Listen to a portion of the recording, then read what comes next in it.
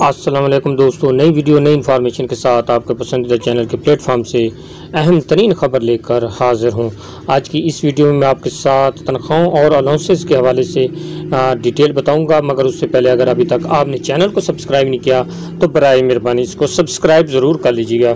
حکومت نے مالی سال دو ہزار بیس کے لیے اگلے بجٹ کے دوران قومی احتساب بیورو نیب کی طرز پر ایف آئی اے ملازمین کو تنخواہوں اور پیکج میں اضافے کا جواز طلب کر لیا ہے۔ وفاقی سیکٹری فینانس نوید کامران کی جانب سے وزیر اعظم کو بھیجی گئی سرکاری سمری کے مطابق اس معاملے کا ڈی جی ایف آئی اے کی مشاورت سے جائزہ لیا گیا۔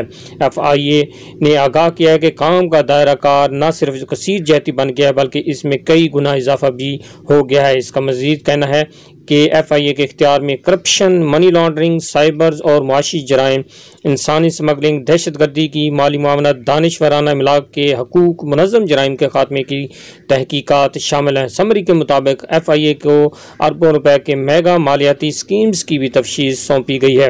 اور نیب قانون میں حالیہ ترامیم ممکنہ طور پر ایف آئی اے کے کام پر مزید بوجھ ڈال دیں گی، جیسا کہ نیب کی جانب سے کی جانے والی کئی معاملات کی تحقیقات مستقبل قریب میں ایف آئی اے کے حصے میں آ جائیں گی۔ سمری میں کہا گیا کہ ایف آئی اے کی جانب سے دہشت گردی کی مالی معاملات کے خلاف شروع کیے گئے اقدامات اس میں شامل ہیں۔ اس وجہ سے تنخواہوں میں اضافہ اور پیکج کا جواز بنتا ہے۔ یہ تھی اب تک کی تازہ ترین اپڈیٹ اور وزیر اعظم صاحب نے پھر منظوری بھی دے دی ہے۔ یہ دی اب تک کی تازہ ترین اپڈیٹ. امید کرتے ہیں انفارمیشن آپ کو پسند آئے گی اور آپ اس ویڈیو کو زیادہ سے زیادہ شیئر کریں گے.